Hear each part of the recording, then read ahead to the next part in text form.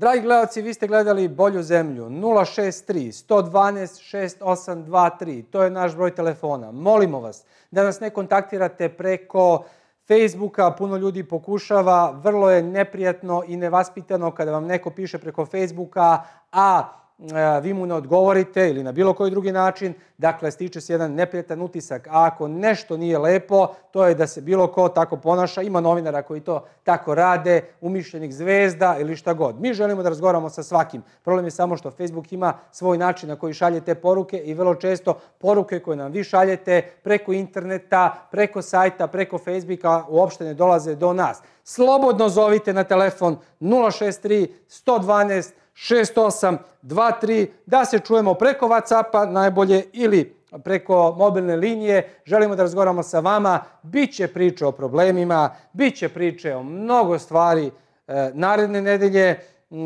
i o onom sistemu za sušenje koji smo najavili žitarica, nešto novo što se pojavilo kod nas, zahvaljujući našim dragim prijateljima iz tamo okoline Svilajnca, ljudima koji su radili u inostranstvu, ali se vratili u svoju otačbinu e, pravim patriotama. Dakle, teme koje nas čekaju naredne nedelje su fantastične. Imaćemo i nekog iz državne uprave, vlade Srbije možda, da odgovori na neka pitanja poljoprivrednika. Do tada, do naredne nedelje i novih dobrih tema, želimo vam sve najbolje, do nove bolje zemlje, doviđenja i vidimo se.